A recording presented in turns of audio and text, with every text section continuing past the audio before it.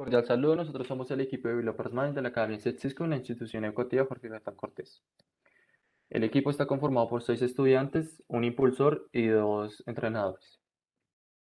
Conociendo el terreno de Vengativa, el territorio, eh, hemos, lo hemos caracterizado y de ello hemos recogido eh, algunos datos generales, como pueden ser las diferentes problemáticas que tiene, como puede ser la tala indiscriminada de árboles, la contaminación de humedales, entre otras, pero nos enfocamos principalmente en la reutilización de aguas grises y residuales. Dicho anteriormente, logramos llegar a la pregunta problema de que sería cómo tratar aguas grises con métodos de sedimentación, electrocoagulación, degradación fotocatalítica controlados por IoT y DEP para hacer el uso del agua más sostenible en hogares de la localidad negativa. Posterior a esto surge, eh, se conecta el objetivo general de que es cómo aportar al tratamiento de aguas grises a través de un plan de tratamiento con fuentes químicas y físicas controladas por IoT y DevNet para hacer uso de las aguas más sostenibles hogares de, de, de negativa. Los objetivos específicos es identificar el estado inicial de las problemáticas en la localidad con respecto al uso del recurso hídrico y diseñar e implementar la planta de tratamiento de las aguas grises con la utilización de distintas áreas de conocimiento. Gracias a esto logramos inferir que queremos aportar a las siguientes ODS. Las ODS que sacamos los aportes son la 3, Acción por el Clima, la cual tiene cinco metas y aportamos a dos. El fortalecimiento de la resiliencia y la capacidad de adaptación a los riesgos relacionados con el clima e incorporar medidas relativas al cambio climático en las políticas, estrategias y planes nacionales. La 12, producción y consumo responsable, la cual son 11 metas y aportamos a dos, que son de aquí a 2030, lograr la gestión sostenible y el uso eficiente de los recursos naturales y ayudar a los países en desarrollo a fortalecer su capacidad científica y tecnológica para avanzar hacia modalidades de consumo y producción más sostenibles. La 6, que es agua limpia y saneamiento, las cuales son 8 metas y aportamos a dos, que son de aquí a 2030 lograr el acceso universal y equitativo al agua potable a un precio asequible para todos y apoyar y fortalecer la participación de las comunidades locales en la mejora de la gestión del agua y el saneamiento.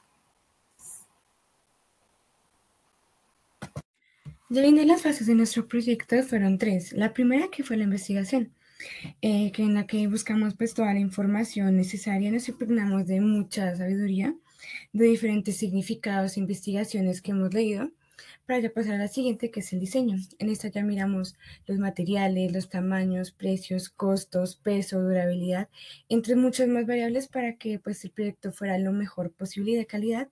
Y por último, en la implementación, eh, juntamos la investigación con el diseño, haciendo así pues un prototipo con módulos específicos, sensores y demás que cumplan con su función requerida en todo el proceso de la planta. Ahora, en la vértice de investigación encontramos dos proyectos que nos sirvieron de base eh, y de antecedente para desarrollar el nuestro. El primero de ellos es Livestream, que como vemos en las imágenes, funciona como una pajita para refrescos con un nanofiltro en su interior y es de una utilidad invaluable, ya que solo basta con meter un extremo en el agua y empezar a succionar desde el otro agua totalmente potable que puede salvar vidas.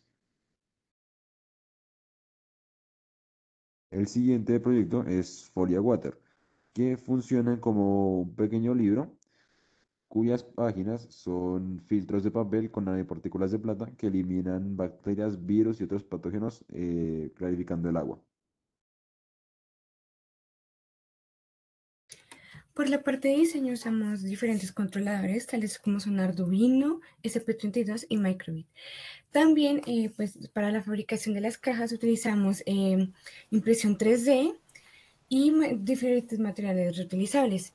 En la parte de lenguajes utilizamos lo que fue el C++ y el Python, a su vez, también estos combinados con diferentes programas como fue el Tony, el Microbit, el Tinkercad, el Blender, el Woki, TeamSpeak, FT y Telegram, entre muchos más.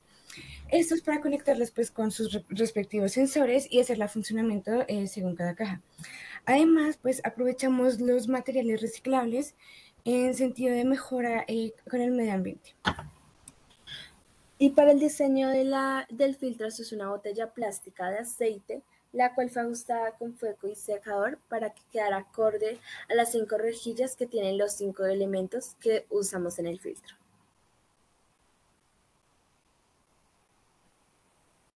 En cuanto a la implementación, eh, reunimos la parte de investigación y de diseño, formando así una planta de tratamiento de agua totalmente funcional, la cual será explicada en el apartado de funcionamiento eh, respectivamente. Por último, llegamos a la conclusión, que sería, eh, para concluir con la planta de tratamiento de aguas grises IoT Water, es una excelente solución para el soporte de las ODS. El impacto del medio ambiente y el cambio climático, además de mejorar la economía, salud y bienestar de las personas, solucionando diversas problemáticas que se pueden encontrar en el agua. Acá encontramos la bibliografía usada para basarnos en nuestro proyecto. Y por último, eh, miraremos ya el funcionamiento técnico de nuestra planta.